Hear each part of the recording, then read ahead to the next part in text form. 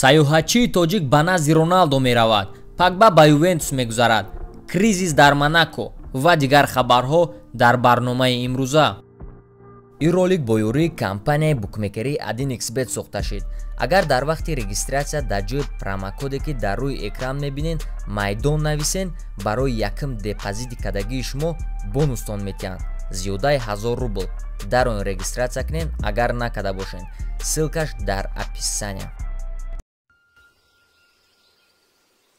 се бозингари реал мадрид дар бозӣ бо селта травма гирифтанд. Полузашини каземиро дар 18 дақиқа серхио регилон дар 44 дақиқа ва начо фернандесро дар 69 дақиқа иваз карданд. Аз ҳама травмаи ҷиддиро начо гирифт бо осеби зону. Каземиро бошад осеби кафи по а регилон каме лат хӯрд. Хотиррасон мекунем ки дар ин бозӣ реал бо шоти 42 ғолиби селта шид дастаи монако ба псж дар сездаҳум тури чемпионати франсия дар майдони худ бо шоти 40 бой дод. Ин даста 16 бозӣ шуда ки ғолиб шуда натонистеста 11 бохт ва 5 ничия сездаҳуми октябр тренери даста леонардо жардимаро хориҷ карданд ва ба ҷояш терри анри омад. Бо роҳбарии француз низ бозии монако беҳтар нашид. Дар шаш бозиаш чор бохт ва ду ничия дорад ягона ғолибиятро монако рӯзи 11 август дар якум тури лигаи як зидди нанта гирифта буд. Баъди 13 тури чемпионати франсия монако дар ҷои 19 бо 7 очко қарор дорад. Аҳози боша паузаи кӯтоҳ бозӣ. Дар комментари навис номи футболбози дӯстдоштата а дар видеои оянда ман ягон видеои хандаоварша нишон метам ва фаромӯш накун дар канал обуна шидана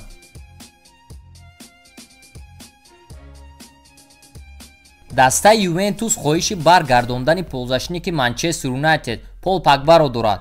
Аз рӯи маълумоти дела экспресс туринҳо тайёранд ба дастаи англисӣ се бозингарашонро пешкаш кунанд бар ивази француз. Инҳо зашидинг меҳди бенатия ва александро ва инчунин ҳамлагар марио манҷукиш мебошад. Хабар аст ки ювентс ин додугирифтро дар трансфери зимистона мехоҳад кунанд. Дар сезони ҷории чемпионати англия пагба дар дастаи манчестер юнайтед 11 бозӣ гузаронд ва тавонист се гол занад.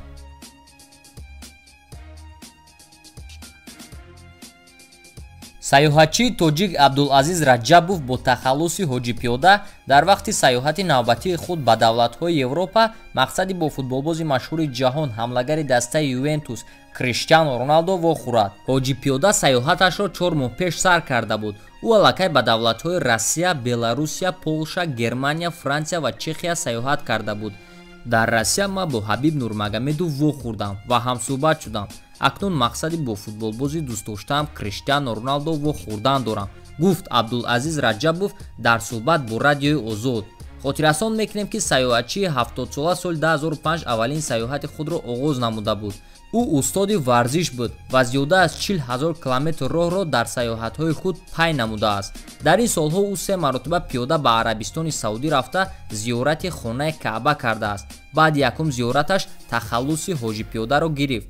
Лайк мон агар хоҳӣ ки ӯ зудтар бо роналдо вохӯрад. Иёбна хабарҳои муҳими имрӯза дар канали дими мо 11 бозингар видеои нав баромадагиай дар бораи ҷанги роналдо ва ҳигуаин дар бозии дирӯза.